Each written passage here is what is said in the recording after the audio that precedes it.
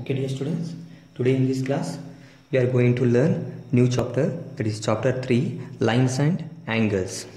Okay. Introduction Basic terms and definitions. First one line segment we are going to discuss. Line segment AB is a line segment. It is a part of a line with having two endpoints is called a line segment. It is denoted by AB and we have to put bar or you can write line AB. Also you can write like this line AB. Okay. Next second point ray a part of a line with one end point is called a ray.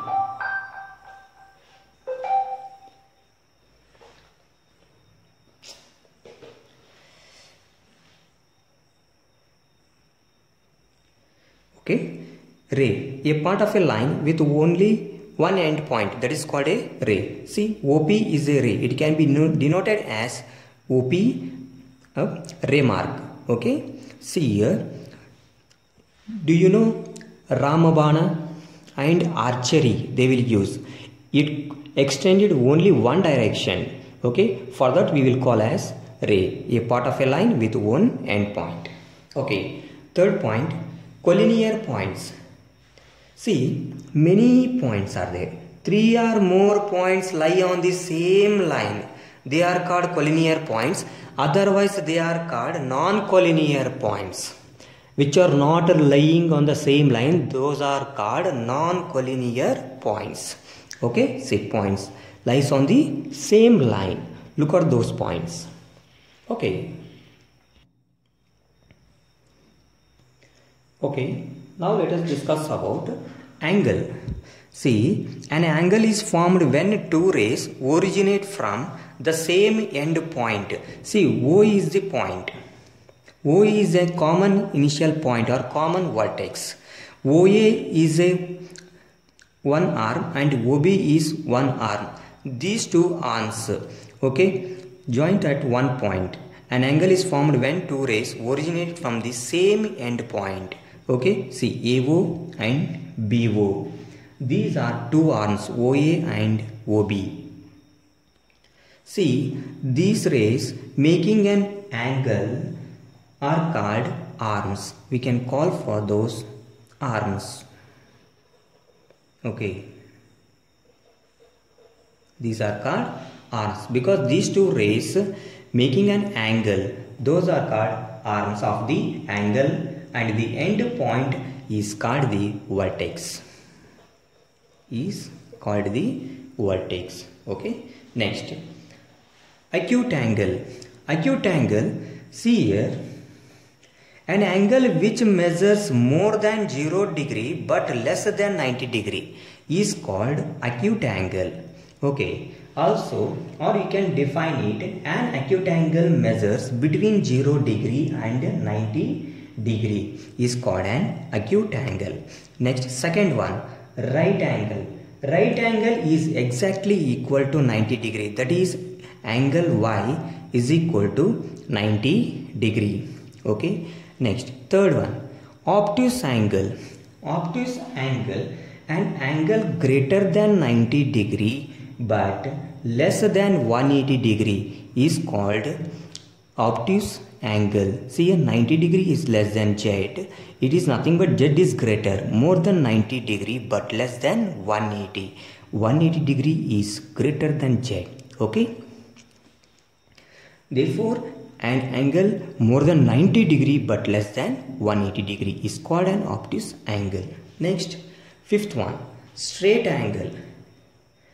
Straight angle is always equal to 180 degree or an angle measures 180 degree is called straight angle. Okay? So here angle s is equal to 180 degree. Next fifth one. Reflex angle. Reflex angle is angle measures more than 180 degree but less than 360 degree. Okay? Or you can call an angle which is greater than 180 degree but less than 360 degree is called reflex angle. Now let us discuss about complementary angles. Okay. The sum of two angles measures 90 degree. See here, I have drawn here two figures. One angle measures 50 degree and other angle measures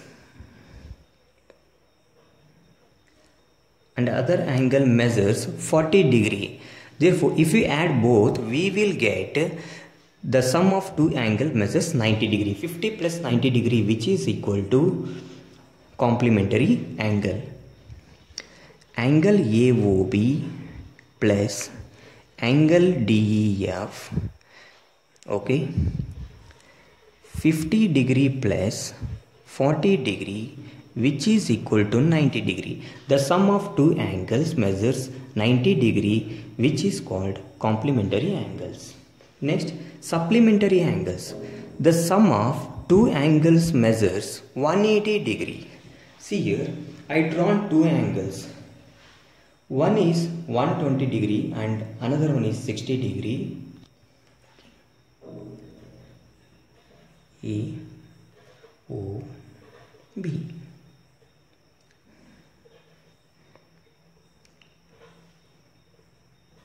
X. Okay. See the sum of two angles measures 180 see, angle AOB plus angle POX which is equal to 180 okay. 120 degree plus 60 degree which is equal to 180 degree. Angle AOB plus angle POX okay is equal to 120 degree plus 60 degree which is equal to 180 degree. The sum of two angles measures 180 degree is called supplementary angles. Okay. Adjacent angles, eighth one. Adjacent angles. See, earlier class already studied about this. Is it? See, if they have a common vertex that is B, right? A common arm, BD is common arm and their non-common arms are BA and BC.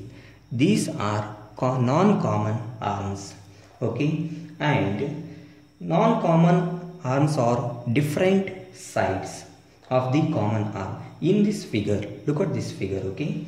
Angle ABD angle DBC are the adjacent angles. Ray BD is the common arm and point B is the common vertex.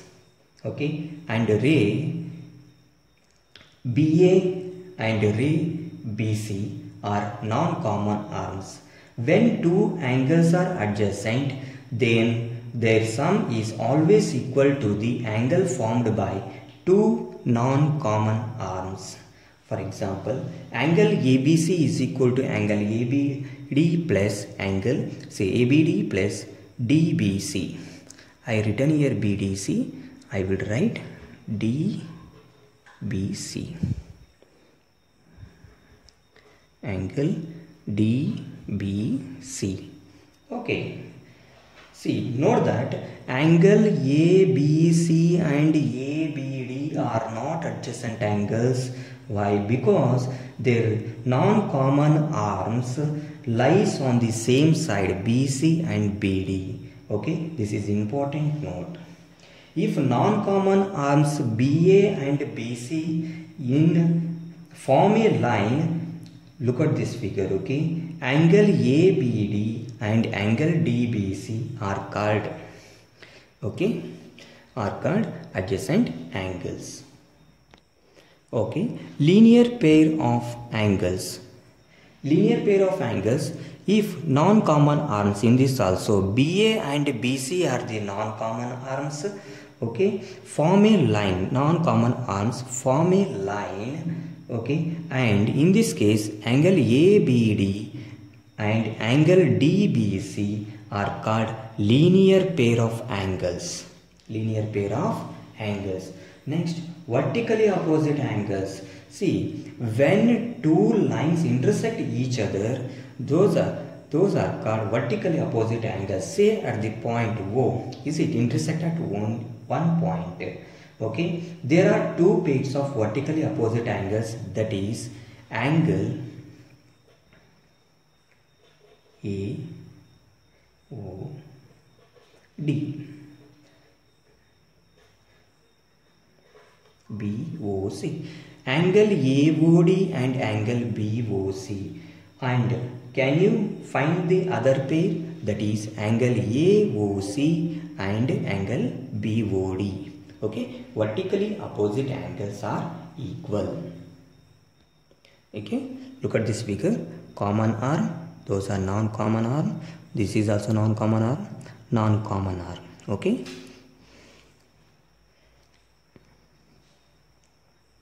Okay dear students.